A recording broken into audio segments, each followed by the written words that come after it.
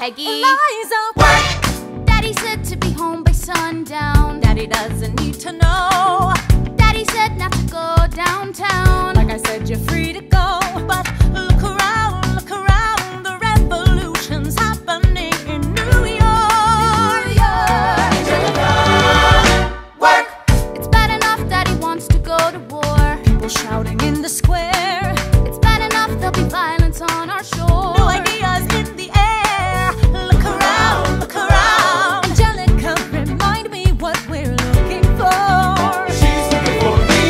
I'm looking for a mind at. Work, I'm